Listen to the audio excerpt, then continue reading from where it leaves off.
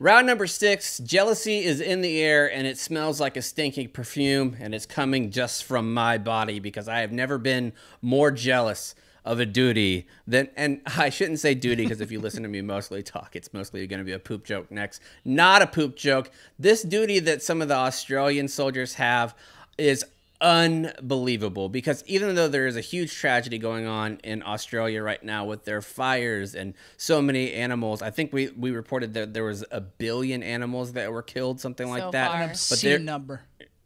obscene yeah so but right now there's some australian soldiers who their duty right now is to nurse some of these injured koala bears back into health and there's a picture of them all sitting in a row with these little koala bears covered in chlamydia with a little blanket surrounding them and a syringe of their little koala milk. I assume that's koala milk, might be eucalyptus milk, mm. that they're just pouring into their little gullets and nursing them back to health. I can't think of a single creature on planet Earth that I would want to nurse back to health more than an injured koala bear. Can you? They seem so cuddly. I just want to. Sometimes my body aches to hold. Well, actually, to have a koala hold me the mm. other way around. But looking at these pictures, yeah, and these, it's kind of a morale boost for them. I was reading these are Australian Army soldiers from the South Australian and Tasmanian 16th Regiment, and they have been out among the fires and they've been seeing all the destruction and seeing all these dead animals and so it's kind of a break for them. They get to go into this room they get to sit in these chairs they get koalas wrapped in swaddling little blankets and they get mm. to feed them and cuddle them. And I, I bet it's just as helpful for them as it is for the koalas. Yeah, very therapeutic, I'd imagine. and they all have like smiles on their faces looking down mm-hmm. at the koalas. I just ugh I, How could you not? How could you not have a big old smile on your it's face? so nice i mean it's so terrible but it's so nice that Yeah. they get to do it fuck It's quite apropos. Actually, I had a dream last night. This is no BS. It's crazy that this story came out. I had a dream that I was in my old house growing up, and there were two bears, a mama bear and a cub, on our deck. And then they came in the house, but they talked, and they were just looking for food. So that really only interests me. Were they looking for porridge? Yeah, Yeah. they were looking for some porridge. No, I think uh, one of them took one of the cell phones, and they took a, a bag of chips. But anyway, yes, this is very Classic bear move. this is a very great story. Great working party, but brings to mind what were some other great working parties that our listeners have experienced while in the military. A good one So we took to we took to our social media accounts, Zero Blog Thirty on social media, on both Twitter and Instagram, and even on TikTok. If you want to go follow us there, if you're one of those brave people who are still not scared to have the Chinese influence TikTok, we've got a account there. We asked them what their favorite duty or their favorite working party or like temporary duty that they had to do, and some of the answers didn't disappoint. Kate, what were some of your favorites? Well, these answers were kind of like I think we talked about this before in Shawshank Redemption, where they get to at the end of the day after doing the roof, the guards let them crack a couple beers on the roof Right. and have a moment of freedom. That's what these working Right. parties were kind of like. Um, at Shoe thirteen twenty three said. Museum and boot camp. Crushed some ice cream, snagged some Pepsis, and hit up the vending machine. At that exact moment, I could have stayed there forever and been perfectly content.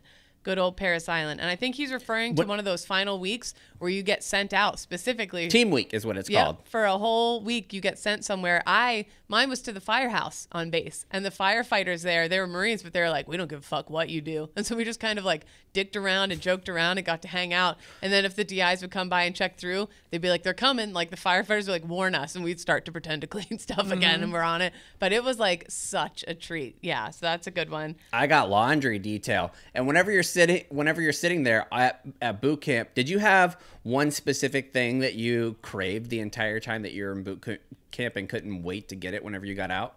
Hmm. Good question. Brownies. Ice cream? Mine was mine was a Butterfinger bar and a Coke. Oh, I wanted all a I had. Butterfinger and a Coke so damn bad. Yeah, I wanted anything chocolate, just right into the injected right into my veins. Uh, Kristen Beck said getting rid of excess RPGs, and she's been on the show before. It was cool until I shot 27 of them. Then I blacked out for a second. I mean, just getting to shoot. uh, There was times in the field where they're like, "Shit, we have to go back in two hours, but we have thousands and thousands of extra rounds." and they would let us just put it on three round bursts and just they would let us just go to town and they Mm-hmm. didn't give a fuck if we aimed at anything. And those were the Yep. times that you were just like, your taxpayer money at work, man, just wasting. Think about how fucking much money that is Oh, too. yeah, like dude. five, Yeah, five, RPGs six, are seven, not six, two rounds. Why would you not take them back to wherever you were going? Such a huge pain in the dick, and if Because then you got to get an ammo driver, Yeah. you got to check it in, you got to do a full rounds count to get exactly how many you have. It's a pain in the ass. So- you don't have to do that when it's just brass. So is Yeah. that like the episode of The Office where they're explaining to Michael how, um, like what he, they're doing the lemonade stand analogy, where they're like, if they give you ten dollars and but it only costs you nine dollars to make a lemonade stand, they're gonna give you nine dollars next time. So you spend the whole ten dollars. You shoot all the RPGs so that they. yeah, Yeah. So you can get the same amount of ammo the next Right, time. okay. Yep. So that I mean, I imagine it was cool with regular ammo with with uh, RPGs. I imagine it's super cool. Uh, let's see. At, I saw one that just didn't seem believable f- uh, on, on. Instagram. Uh, John underscore Ank. A PMO used to get people drunk and give them sobriety tests to test the new Marines. Always wanted to be on that, so they would purposely get people drunk. I don't know. That seems outside. Big time true. Really? Big time true. Yep, we used to do it in Okinawa all the time. and there was uh, two years before I got to Okinawa, they actually did a controlled burn too to demonstrate what to the NCIS, like what you would do whenever you were high. yeah. Well, so, okay, all right. We need to dive into this a little deeper. How do you get someone drunk in a controlled environment? How do you know that you're not giving them too much to where maybe they end up with alcohol poisoning, to where they're just drunk enough that you can test equipment? I mean, because you have like all of the breathalyzers and shit there, and they don't. It's not like they're like, okay, go crush 18 beers and come back. Zillion they do it basically to Yeah. the point of intoxication. So Okay. they'll be like, okay, this is your how you act under one beer. This is how you act under two, three, and once you get to the point where you would fail. They pull you back off and be like, okay, now you're done. Got it's it. not like people are getting blitzed house hammered. Oh, all right, all right. Well, still, still kind of fun. Uh, There was another one that didn't seem like it was all that fun though. The at Tacos YA3S filled water balloons for an entire duty day and prep for a combat dining in. Filling water balloons, just a step below filling sandbags. Not fun. Still though, I think compared to what you normally have to do, you're like, well, this I is different suppose, yeah, yeah. I like at Scatty Light said had to load all the baggage on a plane to Kyrgyzstan. Everybody loaded in the back in the f- back to front, so I was in first class for the 10-hour flight. So initially it seemed like a shitty one. Fuck, I have to load all the bags, and then in the end it turned out they got to ride first class Mm-hmm. on a 10-hour flight, which is a goddamn delight. A lot of good answers here though. Um, First time I ever flew first class was on the way home from Iraq.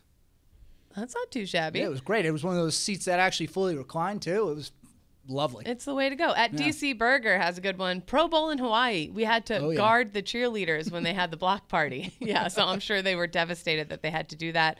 Um, at Frenchie Man 3, I got to work an LGPA tournament refilling the coolers at each hole. That's pretty fucking sweet. I mean, yeah, definitely just to be out at a golf tournament for sure. Yeah, every now and then these things work out uh, work out pretty damn well. At John Harm, mowed lawn at a parking lot where a bunch of drill sergeants parked and sprayed grass all over multiple clean Dodge Chargers. I love that. Just parking it and just shooting grass trimmings all over fancy cars. Well, mer- military fancy cars. But yeah, a lot of great answers there. Did you guys have any other favorites? I like this one from Purvis.Kyle on Instagram. Mowing the grass in basic got me out of the barracks and gave me an hour to myself with the smell of fresh cut grass. Yeah. That's just like Yep, one of those smells I had that one. I got home. that duty, and you end up looking like the biggest nerd in the history of the world whenever you're doing that. they make you wear the PPE boots? is out of Yes. control. I had to do it too. They make you wear these and the goggles that they give you, cov- they cover like almost all the way to your ears. It basically looks like a clear ski mask. You have to wear your boonie cover. You are covered, and then you had. Uh, I had to wear two glow belts at the same exact time. Two. Yep. Double glow belt. Unbelievably nerdy. Wow. Indeed. The, the, the famed double glow belt.